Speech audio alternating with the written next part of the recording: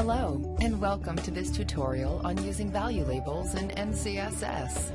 In this tutorial, we'll explain what value labels are, how to create them, and how to use them in reports and plots. The example dataset we'll use contains responses to a survey from 15 individuals, along with some personal information. Value labels can be displayed in reports and plots in place of the actual data values to make the report easier to interpret. For example, you might be tabulating survey data, such as that in our example dataset, in which the values yes and male were coded as ones, and no and female were coded as zeros. The resulting tabulation report would be much more readable if yes, no, male, and female were displayed rather than ones and zeros. One way to accomplish this would be to generate a new data column, replacing the ones and zeros with yes, no, male, and female, but a simpler approach would be to use value labels. Value labels are easy to create using the Value Label Editor tool. Click in the column for which you would like to enter the value labels, and then load the Value Label Editor using the Data menu. Alternatively, open the column info table, select the cell with the value labels heading that corresponds to the appropriate column, and then click on the small button at the right side of the highlighted cell to load the tool window. Value labels can be specified for a column using a simple list, a named list, or using a value label text file.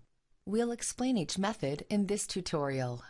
The list is the simplest method for inputting value labels. Use this option to enter value labels that are unique to a single column in the dataset. In the table on the Value Label Editor window, simply enter values in the first column and corresponding labels in the second column. You can click the Get Unique Values button to quickly fill in the list of unique values for the selected column. Once the values and labels are entered, click OK. The Value Label Editor will return a properly formatted value label list to the column info table.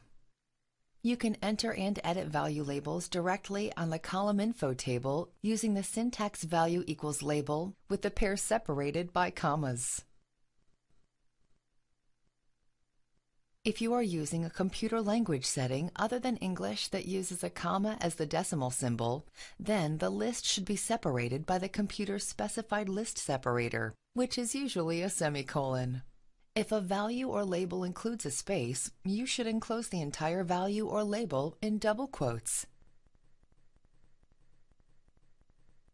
At any time, you can reload the Value Label Editor to edit the value labels.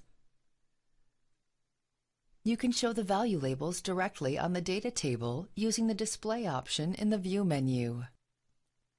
The label associated with each value will be displayed instead of the value itself. The underlying data values, however, are not changed. For example, when you use the copy function on cells that display value labels, the actual values, not the labels, will be copied. If you edit a cell in a column displaying value labels, you should enter the value, not the label. Now that we have created and associated value labels with columns on the dataset, we still need to activate them using the Procedure window prior to generating a report. If they are not activated, they won't be displayed in reports and plots, even though they have been entered on the column info table. To activate the value labels, click on the Report Options tab on the Procedure window and change the selection for value labels from Data Values to Value Labels. As a side note, the same type of thing must be done here to activate column labels in the report. Let's go ahead and activate those as well. With the value labels activated, let's now run the procedure to generate the report. As you can see, it's much easier to interpret this report with value labels added. As I mentioned earlier, there are two other ways to enter value labels for use with the data set. The named list is particularly useful when you want to use the same value labels in more than one column. The named list is the same as the simple list, except that it is referenced on the column info table by its name, not its content. If you change the values or labels in a named list, the changes will apply to all columns that use it. Named lists are stored as part of the dataset.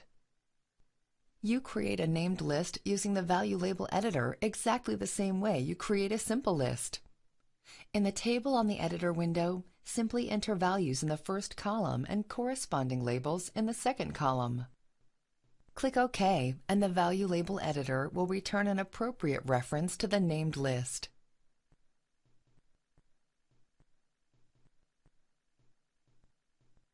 The third method to associate value labels with the data column is to use a value label file.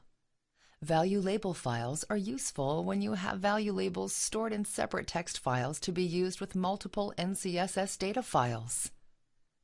Value label files are easily constructed using Windows Notepad or some other text editor.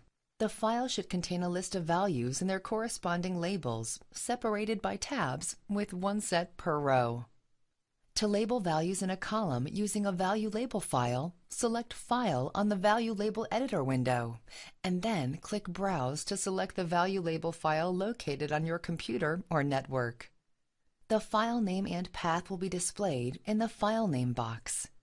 Select how to reference the file and click OK. The editor will return an appropriate reference to the value label file in the column info table. We hope that you have found this short tutorial helpful in learning to use value labels in NCSS. For more information, see the Data Window chapter in the NCSS help documentation that is installed with the software. Thank you for watching.